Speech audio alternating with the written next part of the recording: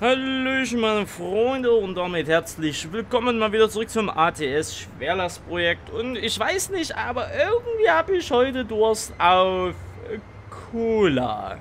Gut, man sieht jetzt ein bisschen scheiße, weil es ist ein bisschen finster, aber ja, da wir ja gestern oder vorgestern, je nachdem, äh, unseren Boiler abgeliefert haben, 95 Tonnen und Schwerlast eigentlich die Definition hat über Länge, über Breite, über Gewicht, oder eins dieser drei Faktoren sollte hinhauen, habe ich mir gedacht, okay, über Länge und über Gewicht haben wir hier definitiv. Denn wir haben hier einen Road Train oder Triple Trailer, je nachdem, keine Ahnung, ob das schon als Road Train gilt, von äh, Coca-Cola mit einem Kenworth W900, dazu äh, später gleich noch mehr.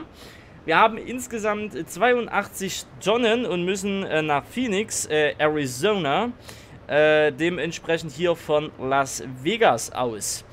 Ja, wie gesagt, dreifacher Anhänger, vorne ein stinknormaler Trailer, hinten dann zwei Tandems mit dran. 82 Tonnen. Warum jetzt der W900? Ähm, das ist jetzt bestimmt der vierte Aufnahmeversuch, den ich hier mache, ohne Witz. Der Mod funktioniert 1A, also Mod by the way, ist ja ganz klar. Das Problem ist nur, wir haben jetzt hier den äh, Peterbilt W900 625 PS bei 2900 irgendwas Newton. Das Problem ist, der Peterbilt mit 600 PS und auch der 625er hat nicht geschafft. Also wirklich, wir haben Ansteigungen gehabt, also eine Highway-Auffahrt. Wir kamen einfach nicht hoch, trotz Automatik, äh Quatsch, trotz manueller Schaltung. Meine Hoffnung hier jetzt, äh, es funktioniert jetzt. Kann natürlich auch wieder in die Tonne gehen. Gut, das seht ihr das Video nie, aber wenn es klappt, dann ist es ja mindestens online. Also, Erfolg versprechen kann ich ja definitiv nicht. Wir können unser Bestes geben. Ansonsten, der W900, der ist jetzt nicht mit Schwellers oder irgendwas großartig ausgerüstet. Wir haben 6x4 haben wir, äh, äh, guckt mal in den Spiegel, wie gesagt, das zieht sich schon noch eine ganze Weile, ja, bis wir hier hinten rum sind. Ich schalte mal in der Außenkamera. Ja. Ähm, das zieht sich schon noch eine ganze Weile. Wir haben auch zwei Möglichkeiten, das Ganze hier zu veranstalten. Einmal als Triple Trailer, beziehungsweise dann als Double Trailer. Double Trailer ist natürlich mit 60 Tonnen wesentlich äh, wesentlich einfacher, ja, wesentlich leichter, wohl bemerkt. Aber ganz ehrlich, ich will ja hier ein bisschen Herausforderungen haben. Auch wenn ich an der Herausforderung eventuell scheitere. Das kann alles möglich sein. Aber man will es ja wenigstens versuchen. Ja, man muss ja wirklich sagen, man sieht auch hier links so im Spiegel, naja, dass ich einmal hier über den Bordstein drüber bin. Da habe ich es mal wieder zu gut gemeint. Muss ich hier schon rum oder da vorne rum? Da vorne muss ich erst rum. Wir haben jetzt hier den Vorteil, äh, beispielsweise, wo es nicht geklappt hat, das kann nur einfach daran sein, dass es einfach, ja, zu hügelig war. Das kann alles äh, durchaus möglich sein, man weiß es nicht so wirklich. Wir sind jetzt hier, Gott sei Dank, in Nevada. Da hat man viel Brachland, klar, man hat auch hier mal und da mal eine Steigung, aber definitiv jetzt hier zum Beispiel auf den Highway hier drauf zu kommen, war jetzt keine krasse Auffahrt. Vielleicht ist das dann dementsprechend auch das Erfolgsrezept der ganzen Chaussee. Ich weiß es nicht. Ich mach mal hier so rundum Funzeln abskäne. Gut, egal. Aber man merkt schon hier, man kurft jetzt hier mit 27 Meilen rum und ich stehe auf dem Gas. Ja, ich stehe wirklich auf dem Gas, aber tun tut sich hier nicht wirklich viel. Jetzt kommen wir ein bisschen mehr voran, jetzt kommen wir mal auf 30. Weil diese geradeaus Strecken hier auf dem Highway mit, mit Steigung und alles, das ist weniger das Problem. Äh, problematisch wird es einfach nur, wenn eine relativ starke oder hohe Steigung voraus ist und man hat nicht genug Speed drauf. Ne? Man braucht hier wirklich den, den Schwung, den man mitnehmen muss. Na, wir schalten mal ja kurz in die Außenansicht, in der Hoffnung, dass wir keinen Unfall bauen. Ja, das ist halt schon in einer gewissen Art und Weise lang. Gott sei Dank habe ich wieder eingeschaltet hier. Man merkt halt jetzt schon, wir haben schon eine relativ kleine Steigung und der kackt uns hier komplett ab, abgesehen davon, dass wir hier mehrere Spuren kreuzen.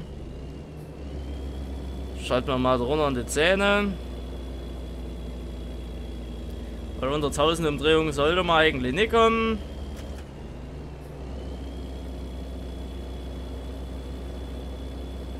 Also bei 13 Meilen Halbmonde, wir verlieren noch weiter. Aber äh, so seht ihr, ich sag mal so, im Endeffekt das ganze Ausmaß. Ja, an der 7 kann er sich jetzt ein bisschen fangen. Sehr schön. Das ist schon mal wie im Westen. Man muss aber wie gesagt darauf achten. Ne? Wir haben nach hinten... Wir haben nach hinten weg äh, eine extreme Länge. Gut, was man jetzt durch diese tollen Auspuffrohre mal wieder nicht sieht. Danke. Danke, danke, danke.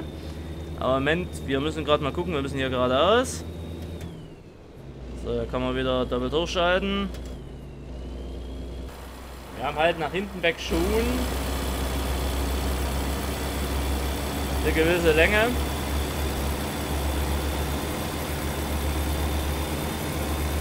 Das ist schon nicht zu verachten, das Gespann.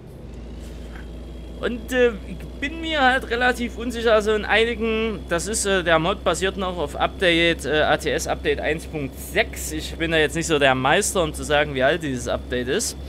Aber ich kann mir durchaus vorstellen, dass eventuell Arizona da noch nicht dabei war. Ich weiß es nicht, aber ich kann es mir beinahe vorstellen, dass Arizona da nicht draußen war. Weil irgendwie für diesen Bundesstaat ist das halt, ist das irgendwie nicht so wirklich geeignet. Ich meine, der Modder fragt selbst, man braucht für diese, gerade für den Triple Trailer, einen sehr starken LKW. Ich habe es mit dem stärksten Peterbild versucht. Es hat nicht funktioniert. Und das Ding ist, klar, es gibt Mods hier, die, die neuen Scanias, dass man die im ATS nehmen kann und alles, aber ganz ehrlich, das hat dann ja nicht mal viel mit ATS zu tun. Naja, also wenn ich mir mit dem mit, mit neuen Scania äh, hier rumfahre, der hat dann zwar 750 PS und noch 25 PS mehr, der würde das dann eventuell dann auch ohne Probleme schaffen und alles, klar, ohne Frage. Aber das hat dann ja nicht mehr viel mit, mit, mit amerikanischen Trucks und Co. zu tun. Äh, deswegen hatte ich ja gesagt, das ist ja eher doof, das ist ja nicht Sinn der Sache, es muss ja auch hier funktionieren. Deswegen jetzt einfach mal hier ein W900 genommen. Hier kommen wir jetzt, äh, das läuft jetzt so aktuell gerade besser als erwartet, ja. Wir sind jetzt schon mal sieben Minuten hier vorangeschritten, ohne dass wir äh, ja irgendwie stehen geblieben sind oder uns festgefahren haben oder whatever. Aber vielleicht kommt das noch, äh, wenn wir hier irgendwie einen Highway wechseln müssen oder so. Ich weiß es nicht. Wir lassen jetzt hier aktuell ganz gemütlich rollen. Aber wir wollen es natürlich auch mit der Geschwindigkeit nicht übertreiben, das ist ganz klar. Obwohl, hätten wir schon wieder ein bisschen mehr Gas geben können oder den Schwung ein bisschen mitnehmen können, merke ich jetzt so gerade ganz nebenbei.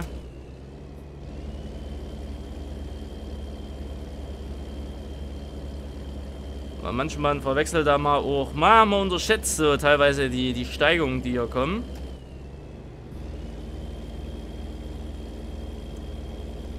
Am 16. oder ist wieder wieder, ja, am 16. kriegt er wieder ein bisschen mehr drauf, sehr gut. Es sieht nämlich manchmal einfach nur aus wie geradeaus fahren, aber hier hängt dann doch schon teilweise mal gutes Gefälle mit drin.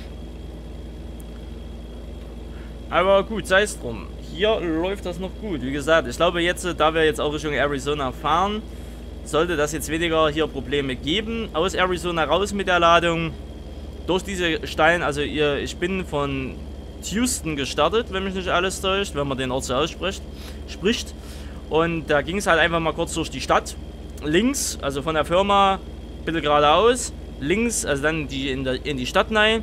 Links und dann gleich wieder rechts auf die Highway-Auffahrt hoch. Mit einem normalen LKW, normaler Ladung, alles kein Problem. Mit den Double-Trailern auch kein Problem. Mit den Triple-Trailern hast du ein Problem weil der LKW kommt, dadurch, dass du dann auf eine Kreuzung zufährst, links rum musst, musst du ja schon mal bremsen, weil Stoppschild und hier KI-Fahrzeuge, ist ja klar. Und dann Gas gibst, dann musst du ja auch noch ein bisschen ausholen, weil hast du hinten drei Trailer dran und dann wieder rechts rum, sprich du fährst auf die Highway-Auffahrt manuell mit maximal 25 Meilen drauf. So, dann kommst du, dann musst du extrem schnell runterschalten und so weiter und so fort. Du bist fast ganz oben auf dem Highway und dann geht nichts mehr. Ja, dann zieht dich der, die, ziehen dich die Trailer hinten runter, Motor verreckt und alles. So. Sie können äh, umfahren. Vielen Dank. Wir können umfahren. Das ist ja schön. Wenn wir das umfahren können, ist das schon mal sehr nett, weil haben wir erkannt, ey, ich bin zu groß. Lohnt nicht. Da müssen wir hier wenigstens schon mal nicht mehr anhalten. Das ist ja wie im Westen. So, wir gucken mal nach draußen. Es wird nämlich langsam hell. Das heißt, wir können ja schon mal Licht ausmachen. Ja, so sieht's aus. Coca-Cola. Da kann man auf jeden Fall sehr viel davon trinken. Ja, und solche Lenkexperimente sollte man am besten auch nicht machen. Also schön sanft denken. Weil die Trailer verzeihen einen das äh, eher weniger. Ah ja, vorne haben wir zum Beispiel so ein bestes Beispiel. Okay, wir müssen also den Highway wechseln. Ja, und jetzt seht ihr das, was ich ja meine mit, ja, die, die, die Trailer verstehen da weniger Spaß darunter. Jetzt hat es mich nämlich einmal kurz nach drüben gezogen. Da hat er mal kurz hier die Gegenspur Angst, würde ich behaupten.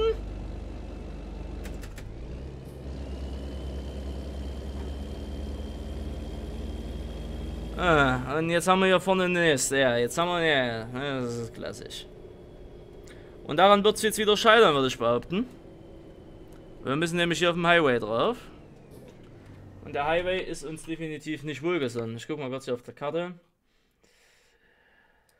Äh. Ja, das Einzige, was wir machen. Ne, wir müssen auf dem Highway drauf. Sehe ich das richtig? Ja, wir müssen so oder so auf dem Highway drauf, weil ansonsten. Ja, wir jetzt darum lang druckern über die 66er Route 66. Da hätten wir zwar jetzt ein bisschen mehr nach Anlauf, aber dann selbst müsste man hier auf dem Highway drauf. wir müssen auf den 40er. Ja. Also, ich sage mal, ich wette mal so, wir werden es nicht schaffen.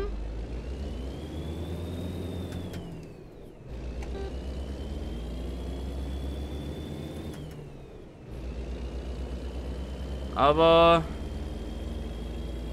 schauen wir mal. Gerade wenn die jetzt hier die Auffahrten dicht machen. Sieht das dann eher ganz, ganz schlecht aus. Oder zum Beispiel jetzt so noch, was hier passiert. Also muss ich jetzt einfach wegrammen.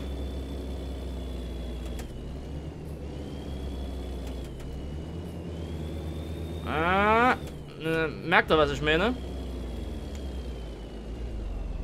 So, und das war's. Und du siehst das aber halt auch bei jeder Autobahnauffahrt aus. Es wird nicht besser. Ja, wir stehen jetzt hier. Schaltet selbst mal den runter. Zack, Motor aus, Feierabend.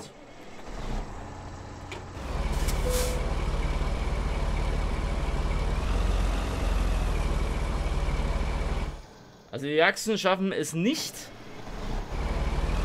das hier zu ziehen. Wir haben mit einer der stärksten LKWs hier, die es gibt. Also den stärksten. Wenn ich hier versuche Gas zu geben.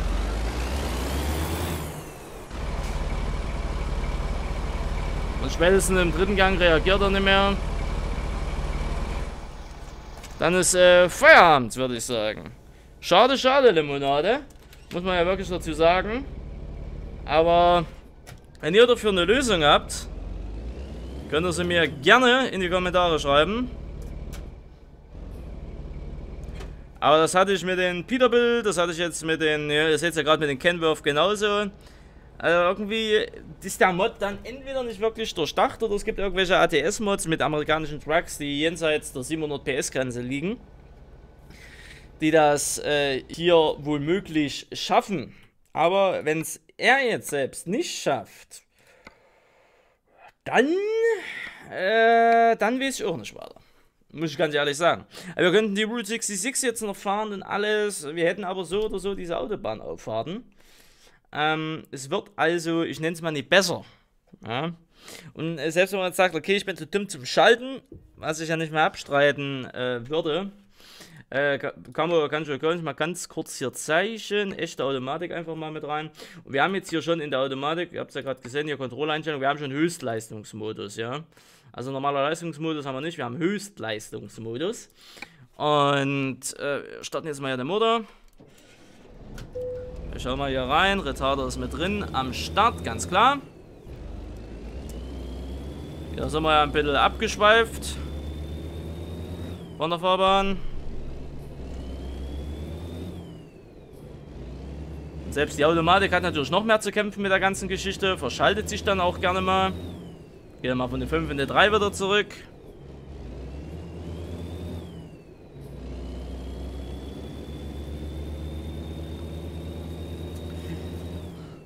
Damit können wir es zwar auch gerne versuchen, aber das wird leider nicht funktionieren.